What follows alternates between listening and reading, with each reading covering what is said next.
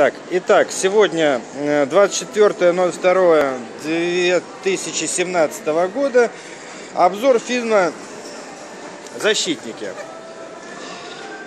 Специально пошли, чтобы потом не слушать отзывы, что наши снимать не умеют. Но, подтверждаю, наши снимать не умеют.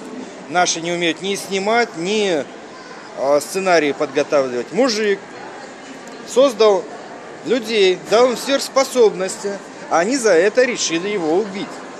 Ну, бред, бред, бред. Хотя, если сравнивать э, с тем же Бэтменом, хотя нет, с Бэтменом не сравнимо, там ему сверхспособности не давал человек, который его хотел потом убить. Потом им предлагали, что они станут повелевать мир, миром. Они берут и отказываются. Бред. Ну, э, вообще, смысловая нагрузка фильма никакая. Хотя, вот Ирина Николаевна говорит, что не хуже американского Бэтмена. Может быть, не хуже, но, э, скажем так, да, если вам от 12 до 24 лет вы хотите быть военным, может быть, это фильм для вас. Но я, наверное, уже просто сильно старый.